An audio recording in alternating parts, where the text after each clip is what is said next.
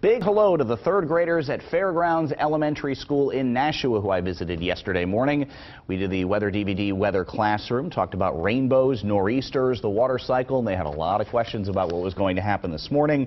They've been doing a weather unit there, so I was merely review for them, and they had some great questions about all things weather. A big thank you to them, and a oh, nice T-shirt. Yes, home of the Tigers. So a big thank you to them. I had a great time there yesterday. Very I nice, enjoyed that, I'm sure, mm-hmm. talking about weather with you. Not a rock star over there. And then now they go to school today. Oh, Yeah, they were waiting